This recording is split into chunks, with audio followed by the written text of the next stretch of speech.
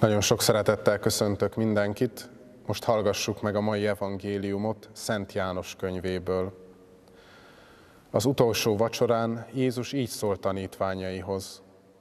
Ha ismernétek engem, atyámat is ismernétek, de mostantól fogva ismeritek őt és látjátok. Fülöp megjegyezte, Uram, mutasd meg nekünk az atyát, és ez elég nekünk.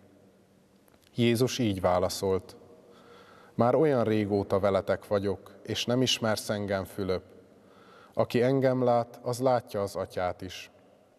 Hogyan mondhatod hát, mutasd meg nekünk az atyát.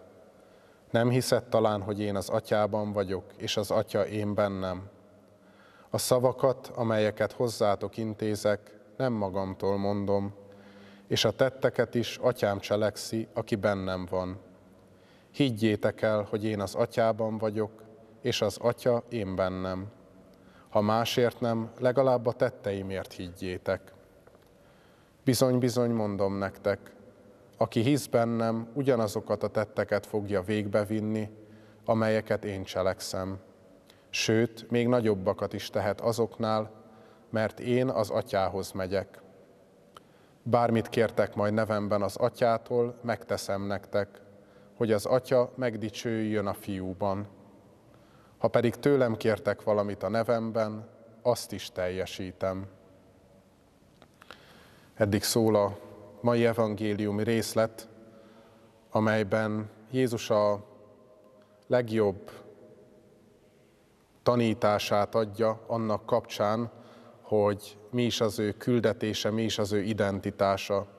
Hiszen ebben kimondja, hogy az ő legfontosabb megnevezése a fiú.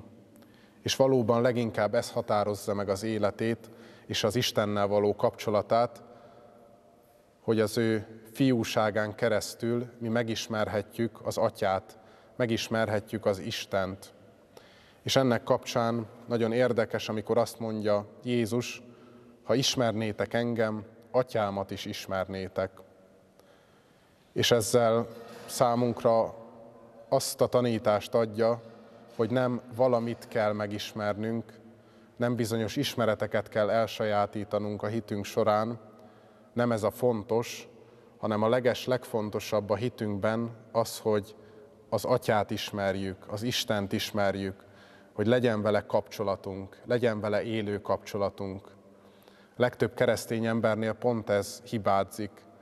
Lehet, hogy a vallásnak a tanítását ismeri, ismeri a parancsokat, ismeri az egyháznak a kultúráját, viszont ezzel szemben nincs egy élő, aktív kapcsolata az Istennel. Ez mindennél fontosabb, és minden csak ennek a körítése. A lényeg az az, hogy ezt a kapcsolatot, ezt elkezdjük az Istennel, és próbáljuk egyre inkább mélyíteni.